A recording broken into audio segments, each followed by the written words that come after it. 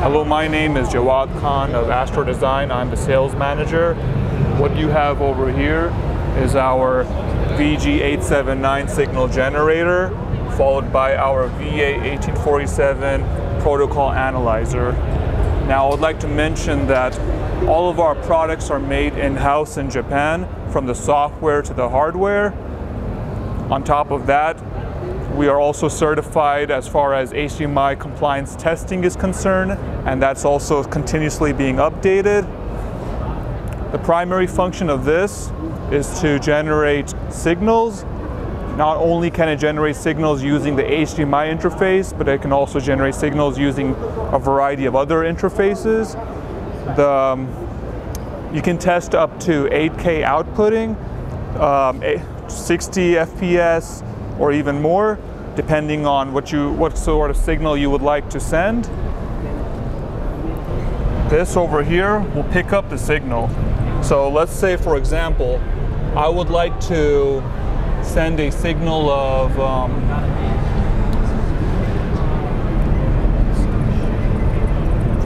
eight K at 60p. I enter that. And as you can see, our analyzer is going to pick up that signal. So Astro Design is like a world-leading company doing this kind of stuff, right? That's right, yeah. It's a world world-leading company that specializes in test and measurement equipment. Not only that, but um, we also specialize in 8K devices. So, um, is this Linux no, this is not Linux based. So this is a, an Astro Design based OS. So there's a specific so OS specific made by OS Astro? Made by Astro for testing equipment.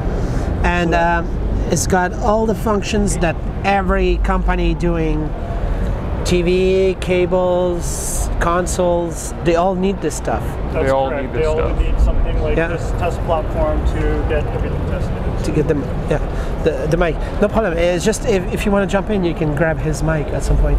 Um, oh. So, so, um, and and this device right here is also crucial to receive the signal. Yeah, so this, this right here is a protocol analyzer. So it's, it's essentially acts as a sink device, and you can emulate any kind of television you wanted to essentially as well. So if you connect this analyzer to a television, you can grab the television's EDID, and this analyzer will now become uh, emulated uh, television system. So this is used for debugging and certification process for HDMI. All right. Um Maybe maybe you can just clip it on right there. Yep. Uh, so, um, what kind of hardware is happening inside here to make this work? Uh, hardware is the very one of the very first HDMI 2.1 a little bit higher so that the mic chipsets. Just rubbed here. Yeah, sorry. Yeah. So, yeah, what do you say? We, utilize uh, the newest uh, HDMI 2.1 chipsets available in the market. Sorry, is uh, the signal? Yeah, just so it's not behind. Okay, oh, sorry, sorry. no It's a cheap transmitter. No worries. okay. So, uh, what do you say? Um, so we we do utilize uh, ASICs uh, chipsets um, that are HDMI 2.1 uh, ready and compatible. Because we're so cutting edge, we reach out to the companies that are first developing these chipsets and implement them into our devices. And are they in Japan? These companies? It's like, or do you go to Taiwan with TSMC um, so or something like this? For HDMI 2.1, we are partnering with a Japanese company for these chipsets. And so you are the first in line to get the new chip that does something crazy advanced? Yes. So that means the chips are not so cheap, right? They're, they're definitely not. This uh, test equipment in its nature is not a cheap item to begin with. Um, so with the capabilities that we can do with this, essentially we can create and test any type of HDMI 2.1 device that's created. And uh, how many of these do you sell, like in the US? Is that secret? But is it like 50, 100. Oh, there's like so many companies that need this. Imagine, imagine all the television manufacturers that are on the show floor today. Imagine every one of them picking up about five to six of these signal generators. Imagine a lot of these uh, cable makers and anyone that has an HDMI logo device on their on their device, such as like AV amp receivers. Imagine them picking up like one to five protocol analyzers per team. And like design houses. Yeah, they're the R&D research development. This is a product development type of uh, products. Because then the design house is maybe working with dozens of companies doing dozens of different products, but maybe they just need one of these. Right. So we do work with a lot of the chip manufacturers that are on the show floor today. Um, a lot of them do tests with Astro Design in order to verify their chipsets. So is this the first device that's able to do full HDMI 2.1, this kind of stuff? Essentially, yes, it would be because uh, without these devices, you cannot make your HDMI 2.1 devices and set-top boxes without verification. So you would definitely need items like this. So in terms of a world's first, it's another Astro Design world's first uh, to provide a, a device that can output all of these signals and patterns as well as receive them. There's no competition, like people just give up trying to compete. Uh, well, I. I wouldn't say that. Uh, there's always competition. There's always someone that's that's striving to do what we're doing. Um, but in terms of time frame, in terms of launching first, uh, Astro Design is typically one of the first companies to launch. For how long has it been happening? Uh, we've been doing this since 1977. Oh, that's like more than 40 years. Yeah, it's, it's uh, quite a long time. So we were the first company to launch the very first digital programmable signal generator, and we've kind of grown our, our company from there. 77. 77. What was happening in 77? 77 was Yeah, that was uh, ana- that's still the analog analog video days. That's way before my time. So um, so analog kind of test things. analog video signals during that time. Um, there was no programmable generator at that time, and uh, our company founder Shigeki Suzuki went ahead and developed this uh, uh, programmable signal generator. Is the founder still That's, around? the founder is still in control of the company. That's correct. Doing all the decisions. He does make all the decisions still. Yes, he's still he's still he's still at the top, sitting sitting in Japan.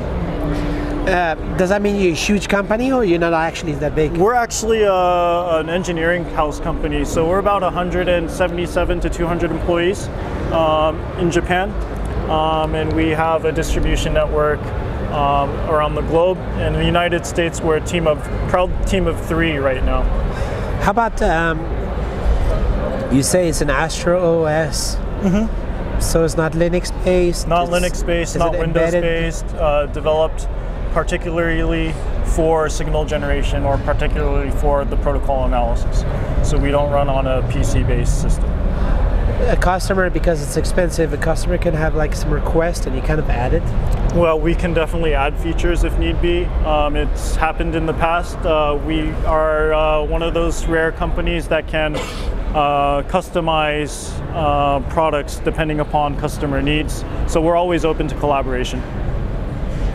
So this is 2.1, so it's cutting edge, but I'm sure there's something even more cutting edge than this.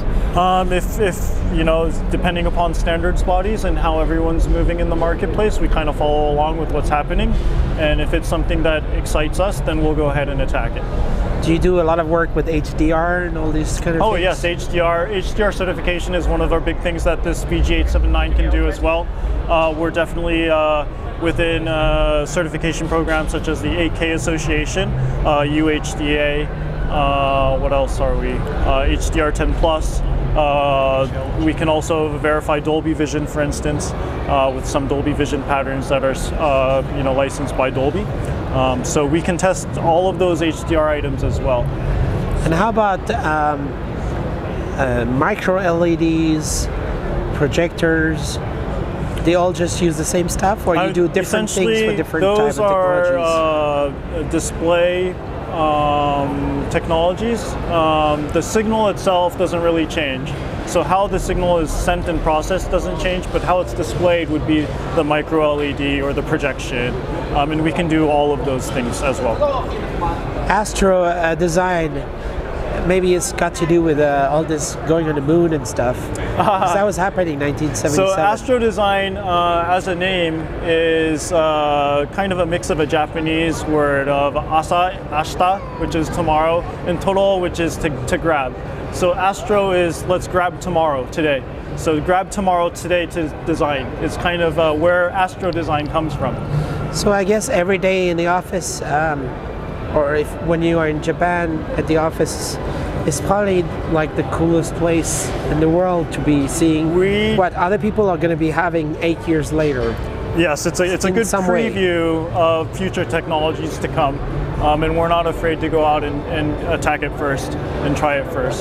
So I guess in the office in Japan, there's got to be some crazy cool 8K displays, but eight years ago. Yeah, yes, we, we do have one of the very first 8K displays uh, sitting around in our office, uh, well, well used by now. Um, so, And 8K camera, the first one. 8K camera, very first 8K camera, 2013 cube camera. That's now evolved into a smaller body, which we can now do 8K 120 hertz out of, uh, which is absolutely fantastic. Um, The size of my camera, besides your camera, is it the size, same size? um, It's compact. You have one in the box?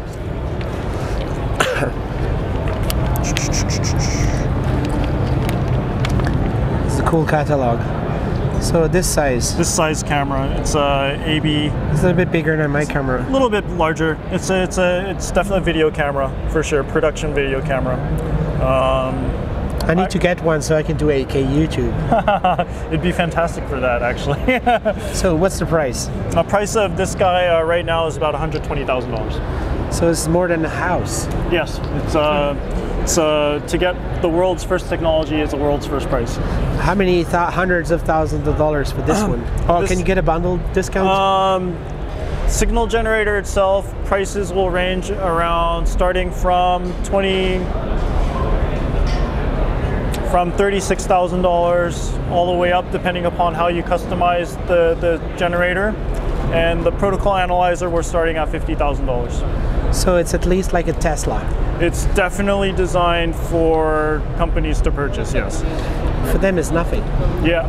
It's a It should be no-brainer. Yeah, it should be a no-brainer for them to invest in something like that because the return that they receive is far greater than that, that initial cost. But uh, like you were showing this amazing video editing rig over there, are you expanding into a, getting more customers, or you have enough? You, because you have all the people that do this stuff, As, or do as you, any business exists, we would love more and more business and more and more customer base. Uh, the great thing about Astro Design is we're actually very, very selective with who we work with and how we process because uh, we are a small engineering team. So whatever interests us is what we go for.